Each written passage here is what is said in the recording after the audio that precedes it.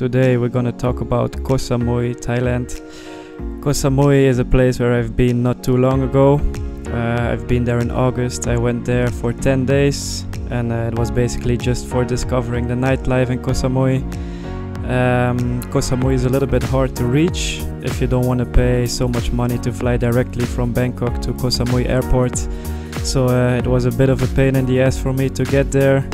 I had to fly to uh, Surat Thani first, and then from Surat Thani, I had to take a bus to uh, the pier, and um, at the pier, there I had to take a two-hour boat drive all the way to uh, Koh Samui Island, and then find a taxi to go to my hotel. So all in all, to get to Koh Samui took me about eight hours. So uh, yeah, if you have enough money, then definitely fly to Koh Samui directly because uh, it's definitely annoying to get there if you want to do it the cheap way.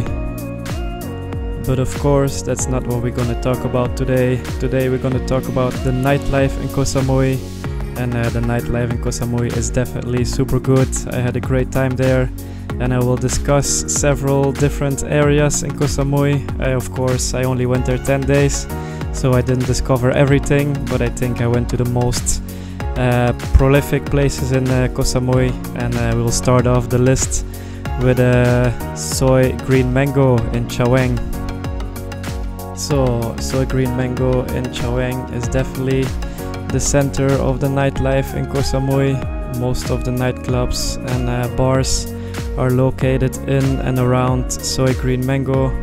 There's definitely a lot to do there and uh, it's definitely the center of the of the island and um, it's located in Chaweng district. As you can see I'm walking now in uh, the Soi they even have a go-go bar there. I think it's one of the only ones on the island. Other than that uh, you can see many beer bars already when I walk in the street. And uh, I will go to the first club which is called Hush Bar. It's a hip-hop club. Um, in the early evening it's not too crowded but around 12 it fills up quite nicely I was there alone and uh, I quickly made some friends. So uh, it was pretty easy to uh, to connect with people here. It's uh, definitely crowded with foreigners not too many Thai people here. I think uh, Koh Samui is one of the places with the most tourists in all of Thailand. I found it pretty similar to Phuket but uh, nonetheless the nightlife in Koh Samui is very very different from uh, from Phuket. It feels much smaller and uh, much more cozy. Uh, now I find myself in the main club in uh, Soi Green Mango and uh, this club is actually called the Green Mango Club. This is one of the most fun places I've been in Thailand. It's like a, an open air club and it's every day it's full of people. It's packed every day. The only downside I would say is uh, is that the ratio is not great. It's uh, filled with foreigners. I would say 80% of the people who go here are um, are male foreigners. So the ratio is not great, but uh, the music and the vibes um, are definitely one of the best I've seen in Thailand. Uh, another little downside is is that this club in particular is pretty expensive. I think the Green Mango Club is definitely the most expensive club that you can find in uh, in Soi Green Mango and maybe the most expensive club you can find uh, in Chaweng in general. But other than that, I would definitely recommend to go here because it's definitely um, a club with good vibes. Everybody's dancing. The movie is the the music is great, so um, definitely a great great place to go. This club um, sees the most people around 12 till 2 and uh, this club closes around 2 in the morning. And uh, around 2 in the morning then you have to find a different club. And um, you will see in the next scene we're walking away from um, the green mango club. And we will pass uh, a little bit of an entertainment area. Uh, so green mango as i said has a lot of beer bars and uh, lady bars. And as i'm walking to the next nightclub we will pass a lot of uh, the beer bars in the area. I didn't really visit them because I think the beer bars and lady bars in this area are uh, pretty expensive and a little bit commercial. Um, we will talk about entertainment areas in Koh Samui in a later part of the video. So for now, I'm walking to the next club, which is called The Black. The Black is another great nightclub in Soi Green Mango, but this club stays open a little bit later. This club stays open till 4 in the morning, so naturally um, this club gets absolutely packed around 2 a.m. as uh, all the other places close around 2 a.m. So as you can see, the crowd looks pretty similar to uh, to the club in Soi Green Mango. Um, it's also pretty much filled with 80% foreigners, but uh, nonetheless, the atmosphere is great again, similar to the Green Mango Club. Um, it's super fun to go here, the music is great. Uh, a little downside is, uh, again, the ratio is not great, and also uh, the drinks are pretty expensive. They also have a, a, back room where you can do balloons, but uh, I wouldn't recommend it because the balloons are very, very overpriced. But other than that, the Black is a great place to party until 4 in the morning when uh, you don't have another choice and all the other nightclubs are closed.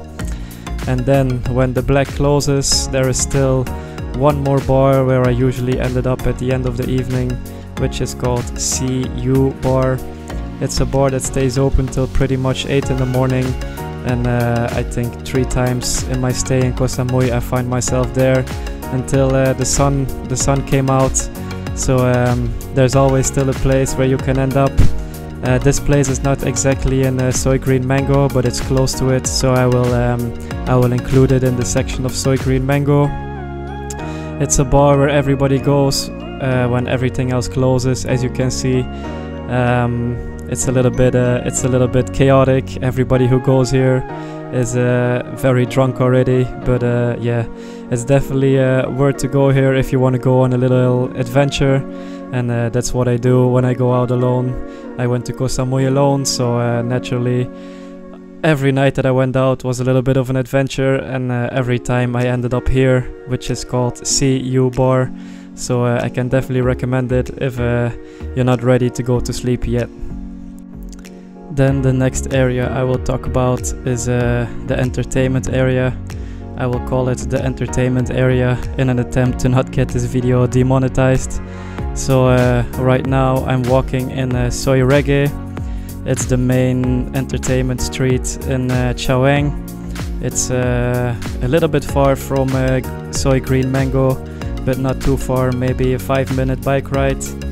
Um, as you can see, the street is just filled with uh, beer bars and uh, lady bars. So um, there's definitely a lot of choice here. And um, I definitely noticed that the street is like uh, very very quiet. There's not many customers here, so if you go here, you will definitely get like a lot of attention because it's just very very quiet. Most of the bars are empty, without any any tourists. I think maybe for every tourist, there's maybe 10 girls in the street, so you will definitely get a lot of attention here. It's uh, it's pretty fun. The vibe is very friendly, as you can see. I can film without any problem. It's definitely different from uh, Pattaya or Bangkok, where it's so busy. Here is just like very very quiet and laid back, but still there's a lot of choice, and uh, I feel like the girls are very young. Most of them are very beautiful too. So I think uh, you can definitely have a good time here if you want to spend some money. I just came here with my friend we played some pool, we had some drinks, we explored the area a little bit, and uh, we had some fun here. When it comes to the prices, I feel like for the drinks it's a little bit more expensive than uh, in Pattaya. I feel like uh, the lady drinks are um, around 200 baht, whereas in Pattaya you pay around 120 or 150. In one bar they even asked like 250 for a lady drink which is definitely more expensive than I'm, than I'm used to. But uh, other than that, it's very cozy and very laid back. I feel like anything goes here. I saw that every bar here in the street has like a room in the back for uh, for yeah for a short time, and uh, I feel like you don't have this in Bangkok, but here I feel like anything goes. So yeah, it's very laid back and not many rules. You can do pretty much what you want here and uh, as you can see the whole setup in the street is very rudimentary like uh, all the bars are pretty much just uh, shacks with some uh, light decoration for the rest there's not much going on it's very uh, basic everything but uh, yeah still nonetheless it's a lot of fun Everybody's very friendly, and uh, I would definitely recommend this place if this is the kind of entertainment you are looking for. Um, it's definitely uh, one of the best places to go in Samui if this is what you're looking for. I feel like the entertainment area in uh, in Soi Green Mango is a little bit too touristy and a little bit busy. Here it's more easygoing and uh, less people to deal with. I think the prices in soi Green Mango are probably much higher as well because that's where all the normal tourists stroll by. If you come here, then you come definitely for uh, one reason alone, and that's why it's a little bit less busy here. And uh, if this is the kind of entertainment you're looking for, then I would definitely recommend soi Green Mango, um, Soi Reggae instead of uh, Soi Green Mango. So, um, all in all, definitely a good place to be if uh, this is what you like. The next area I will talk about is uh, the Lamai Entertainment area. Lamai is another district in Koh Samui. I think it took me half an hour with the motorbike to uh, drive here, maybe only 20 minutes, I don't remember. It's not too far, and uh, to my surprise, the Lamai Entertainment area is just uh, filled with bars. I think even more bars than than in Soi Reggae and uh, also the area is a lot bigger. It's not just one street it's many streets and um, it's definitely a lot of choice here. As you can see i'm just walking in one of the in one of the streets that is just filled with bars and just like soi reggae it's not that busy. There are not many customers and uh, everything is very quiet. Maybe it's because it was low season and maybe it's because some countries are still affected by the covid restrictions but I went here in August 2022, so you would expect a little bit more people. Uh, I can imagine it's hard for these bars to survive because it's just so quiet. There's every bar has maybe a handful of customers. Some bars are even completely empty. But uh, I really enjoyed my time here. I have to say that uh, this is probably the most friendly entertainment area I've ever been in my life is just super laid back and uh, everybody is so friendly even more than in Soi Reggae. But I have to say the quality of girls in this entertainment area is uh, definitely a little bit lower than uh, in the other places that I've noticed in uh, Koh Samui. But uh, Koh Samui in general I feel like the quality of girls is a little bit lower than when you compare it to uh, Pattaya, Phuket or, uh, or even Bangkok um, especially here in the Lamai entertainment area. I feel like uh, the girls who work here are definitely much older than uh, than in other places, and um, definitely a little bit um, less good looking. But nonetheless, I had a great time here because uh, for what they lack in looks, they just uh, make up for it in uh, friendliness and good vibes. Everybody was down to party, and uh, everybody was very friendly.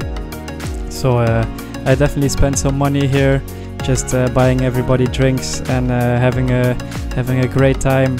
I definitely enjoyed coming here, um, but too bad I was living a little bit far from this area, so I only went here one time.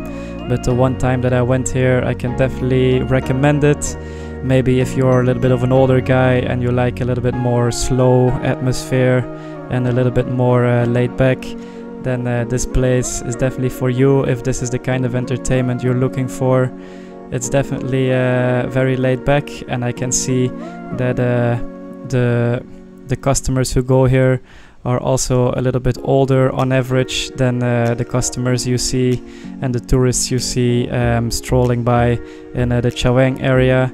I think the Lamai area also has more expats, so people who actually live here long term and uh, this area is definitely um, more focused on uh, on people who live here than uh, tourists I think and also definitely more on uh, an older population than uh, the young backpackers who usually end up in Chaweng so uh, all in all as you can see in the in the fragments I'm definitely having a great time it was very fun. I, uh, I definitely had some drinks here, maybe too much because I still had to drive back to Chaweng to my hotel.